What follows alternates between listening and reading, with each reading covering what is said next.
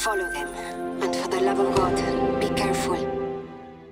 We know that if this wolf is still here, it's been specifically raised to attack humans. We have to put it down.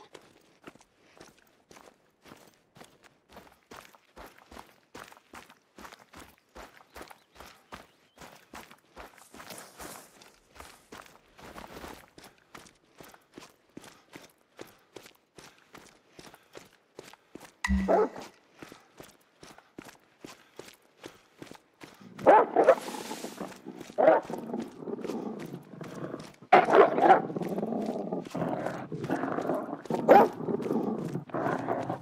it is.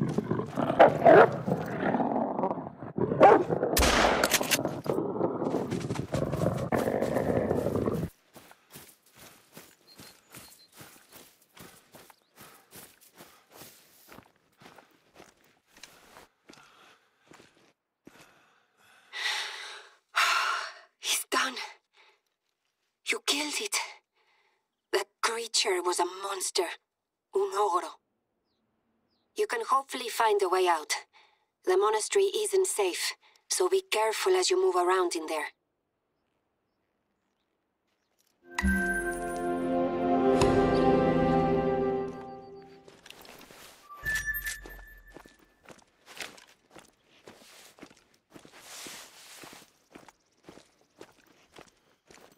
It's old and crumbling, still so beautiful. There is something special about that place. The monastery used to be a site of pilgrimage. Your journey to arrive there has been a battle too.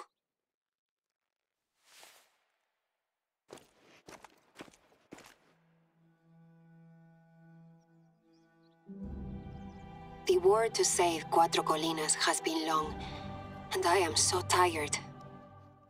When I think about what has happened here, I know that we did what we had to do. Because of our influence, Cuatro Colinas will maintain its divine and breathtaking landscapes. Its rolling hills will remain unblemished by tacky tourist attractions. And will continue to host some of the most majestic wildlife in the world. Of course, this is also a victory for my neighbors. They're already asking me questions about what happened.